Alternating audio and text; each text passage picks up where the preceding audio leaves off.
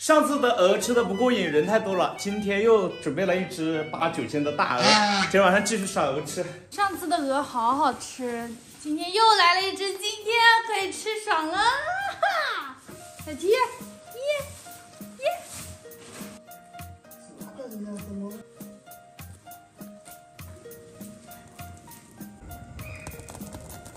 一个这么大的鹅蛋在里面没有生出来，还有很多的小鹅蛋。小七，明天早上吃鹅蛋哈，好不好？最近我都是当帮厨了，没办法上餐桌了。这两个兄弟都太会做饭了，他们做的鹅太好吃了，我跟你真的又好吃又香又甜。而且这个鹅是吃水果长大的，他们家做水果生意的，卖不完的水果给鹅吃，所以那个鹅的肉超甜。上次吃了之后，一只十斤的大鹅都没吃过瘾，今天又来一只，今天把它吃过瘾。辣椒要到位。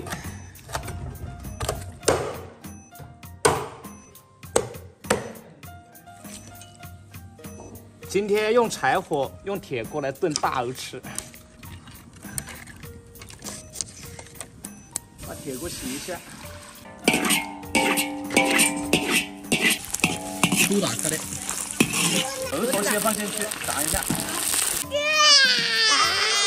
要饿了饿了，我要吃饭了。要吃饭了，小七月要吃喽，饿喽，闻到香味了是不是啊？好了，现在可以放鹅肉了。来了，什么这边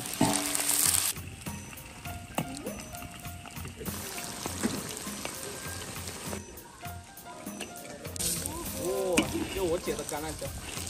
你那个来，那个要最后放。就是内脏。胸干的个做活椒。我这没了。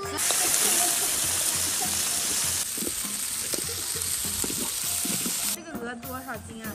八斤。八斤，就我们几个人的吃爽了，吃到饱，吃到撑。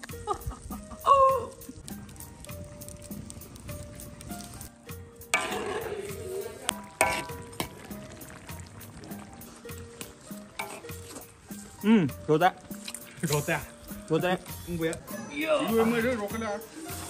铁锅炖大鹅，要了一锅。哇塞，我要流口水了，我要先吃，我要先吃。下雨了，来，一个肉啊，一个肉吧。兄弟们啊，真的下雨了？没下。好吃吗？爽。这是鹅腿。嗯。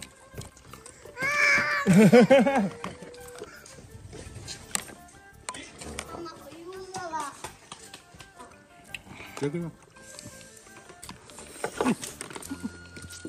嗯嗯，这样煮多好吃，这样煮多好吃。越焖越入味。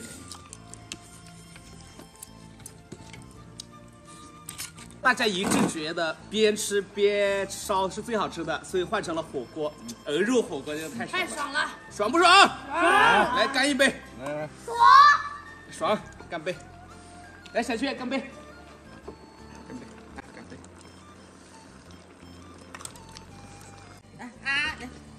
叫妈妈来，叫妈妈，来，叫妈妈，叫妈妈来。没拍年年。好了不够，好料不够。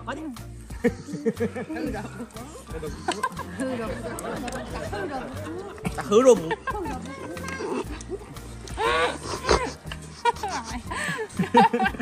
给我们留一点呗。好吃，等下没了。你们这像三天没吃过。来自儿子的实名吐槽。一只鹅还不够，我们五六个人吃，吃了还要放配菜进去。哇，吃火锅了，现在太好吃了，这个茼蒿。哎呀，就每天这样吃不行了，就肚子太开心了。来，最后来酒喝完，菜吃完。